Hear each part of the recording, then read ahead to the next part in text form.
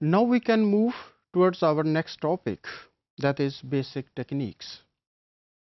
The major developments in the field of gene manipulations were, were in early 1970s when some scientists were able to uh, genetically modify organisms and all these developments were due to the availability of modern gene manipulation techniques.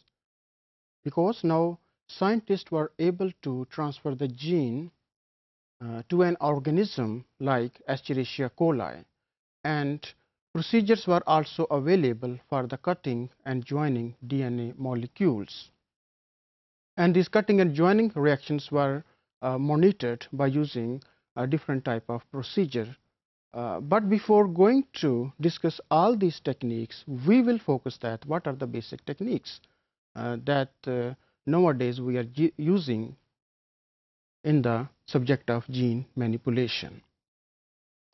Now, briefly we can also focus that why before uh, 1970s scientists they were not successful uh, to uh, transfer the gene in eukaryotic or prokaryotic uh, microorganisms or even higher organisms what were the uh, basic problems or reasons तो जो major problem थी वो ये थी कि there was no mechanism to detect the foreign gene कि जो हमने जीन इंसर्ट की है how it should be detected there were there were no mechanisms so if the DNA it is inserted then uh, of course uh, it can uh, go inside the microorganism.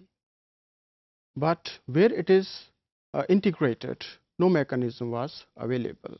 And if it is not integrated, then how it may be detected?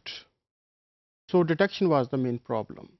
And if the detection of the foreign insert or the DNA, it is based on the expression of the gene, then the failure of expression may be due to the inaccurate transcription or even the translation. So that's why uh, the foreign DNA that was not uh, detected at that time. So this was the main problem.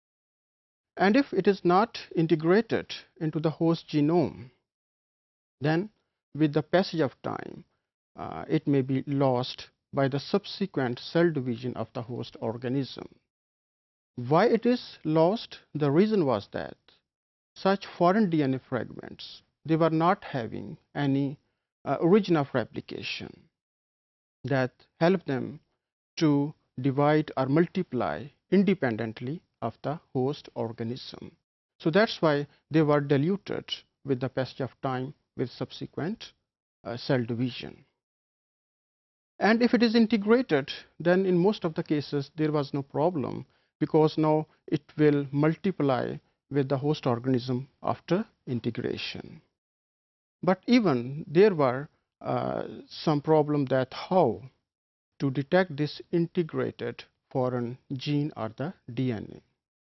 So uh, some techniques were required to differentiate between uh, the foreign DNA and the host genome.